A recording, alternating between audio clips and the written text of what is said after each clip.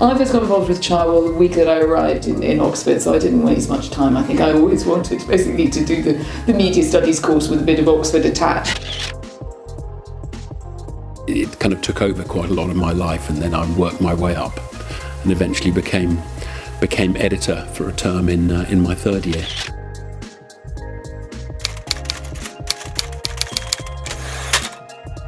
Great thing about Cherwell is that it's always been independent of uh, the Students' Union in Oxford or indeed the Oxford Union itself.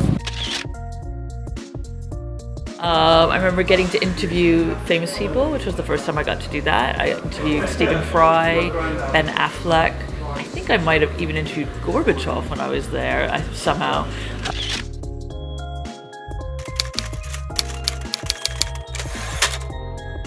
I have incredibly fond memories of Cherwell. I mean, the offices were really absolute pigsty in this little ramshackle hut behind the Oxford Union debating chamber. Nobody ever tidied them up. So in my day, it was the most inordinate amount of trouble. The office was a mess. Uh, it was it was always quite chaotic.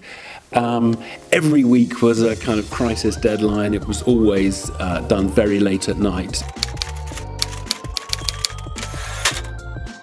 I mean, it's a very di direct line of descent for me. I was on Cherwell and I started writing diary stories at the Evening Standard. There is no doubt that, in sort of CV terms, Cherwell is one of the good things to have done, and mainly because a lot of people out of Oxford have heard of Cherwell.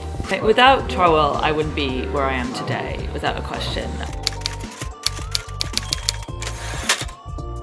One of the things that you do get out of it is it does make you less likely just to say, I don't agree with this, so I don't want to engage in the argument. I think it's very important, and I think university newspapers, and particularly, I should say, the university newspaper in Cherwell's uh, case, you know, it does have a huge role to play here because it has a legacy, it has a heritage.